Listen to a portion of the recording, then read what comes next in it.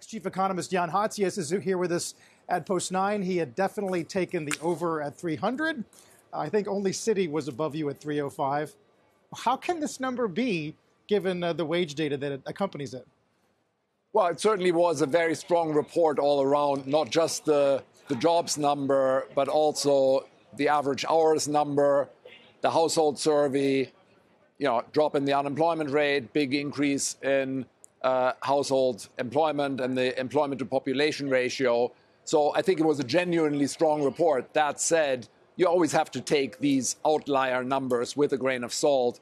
And I would say that's especially true in January because January is a very difficult month to seasonally adjust.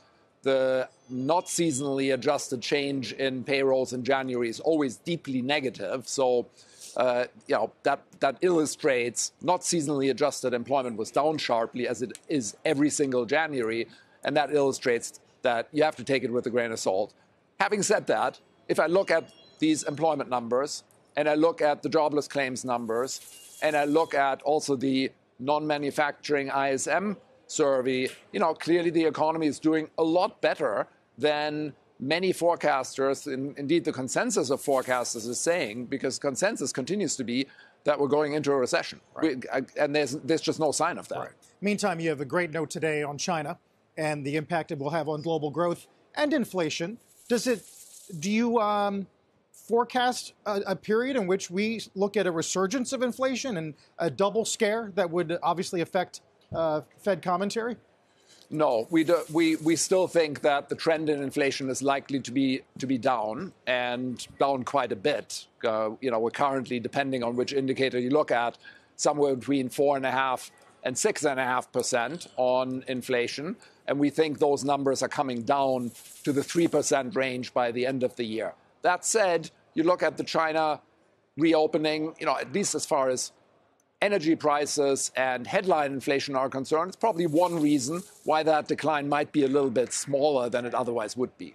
So the thing I keep coming back to is we had the JOLTS number yesterday. We had this hotter than expected, um, stronger than expected jobs report this morning. You have President Biden talking about you know nearshoring and reshoring, uh, and the fact that more shovels are going to go into the ground, and they're essentially, and we've been having this conversation as well. There's still more money at the state and local level that is yet to be deployed from all this fiscal stimulus we've seen over the last couple of years.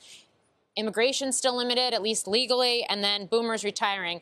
Some structural changes to the labor market. Does that mean that there is real risk here that the Fed's going to have to tighten even more for even longer than is baked into the markets right now, uh, given the fact that it is a very different labor environment than it was a couple years ago?